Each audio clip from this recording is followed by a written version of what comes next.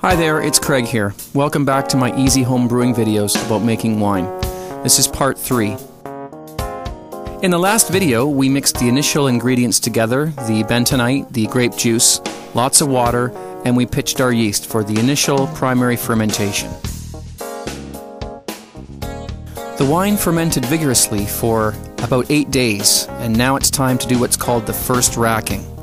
This is where we siphon the wine out of the primary fermentation bucket into a secondary fermentation carboy, leaving any sediment behind. After removing the lid, use a sanitized hydrometer to test your specific gravity. I ended up with a reading of 1.010, which is exactly where I want it. You can see the difference between the initial reading I took when I made the wine and the reading I just took now after it's been fermenting for 8 days. Insert your siphoning hose all the way into the bottom of your carboy. Always fill from the bottom, not from the top. You don't want to introduce any bubbles and oxygen into your wine at this point. There's different kinds of siphoning apparatus. Mine, you insert it into the wine and you shake, and it draws the wine up into the tube and it falls down into the carboy.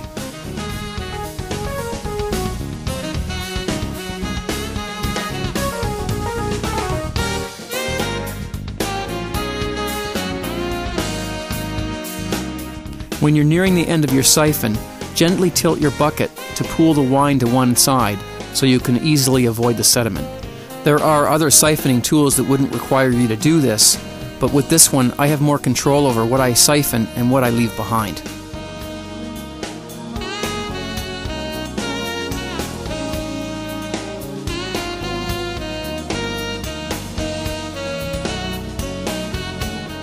This stage is complete just attach an airlock and let fermentation continue for another couple of weeks.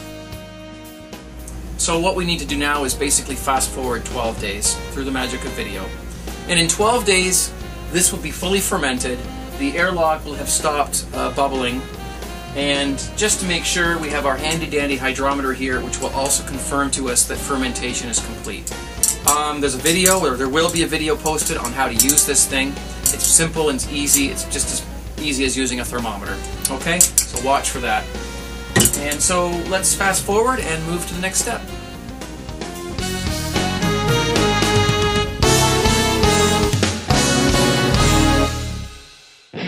It's been two weeks since I racked my wine from my uh, brewing pail into this glass carboy. It's been it's continued to ferment.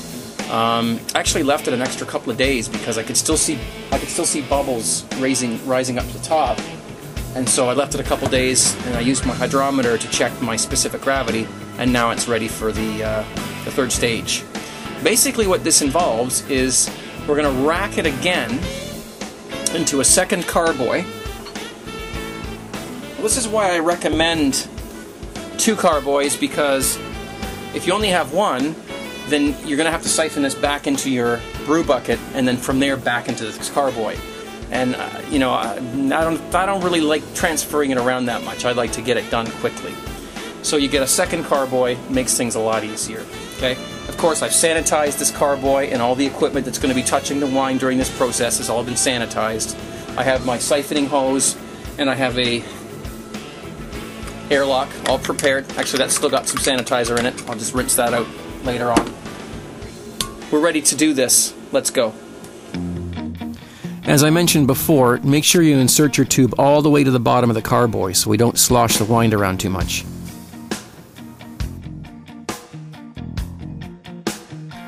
The reason why we're doing this is because we want to get rid of the sediment at the bottom of the carboy.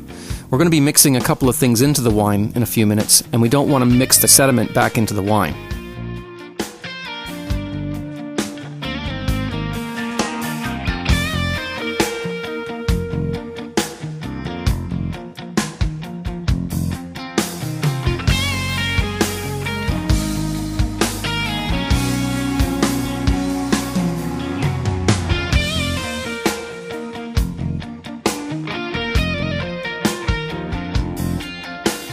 Now it's time to add package number three, potassium metabisulfite. This acts as an antioxidant, protecting your wine from oxidation, which can affect the flavor and the color of your wine.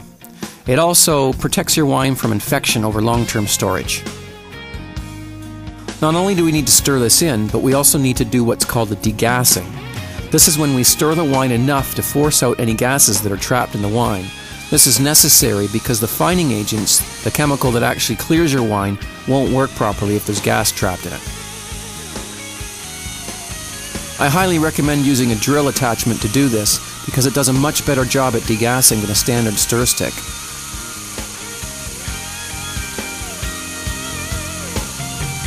Using this drill attachment seems to work a lot better than a standard stir stick, and I've noticed that my wine tends to clear a lot faster when I do it this way.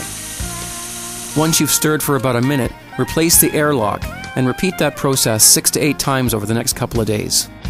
You'll get away with less stirring if you do use the drill attachment. And don't forget to replace the airlock each time you do it. Once degassing is completed, it's time to add the last two packages to your wine. Package number four is potassium sorbate. It's an antimicrobial agent which will help to stop your wine from re-fermenting due to a bacterial infection. You mix the powder with half a cup of warm water to dissolve. And remember to sanitize the measuring cup. Remove the airlock and add this to your wine. A sanitized stir stick is fine for this job.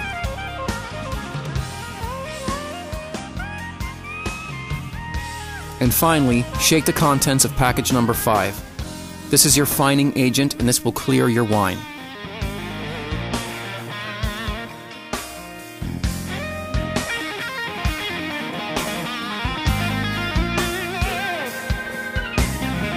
and one final stir.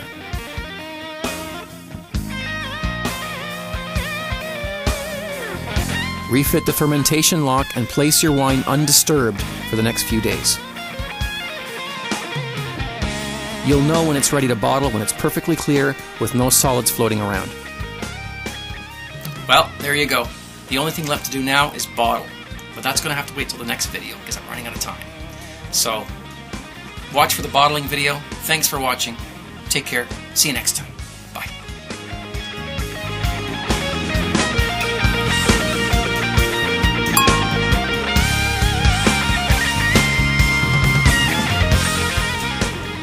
Basically, it doesn't really get any harder than that. There's only these little steps along the way. before you know it, we'll be doing just that. So watch for that video when it comes out in, about probably about a week. Okay, or it might be already there. Um, but that's not what happens next. You'll find when you add the fining agent, the potato. Okay, just a minute. what we have to do now is we have to fast forward 12 days. And the magic of uh, video. Okay, here we go Okay. more. How do you like it? How do you like it? Alright. That was better.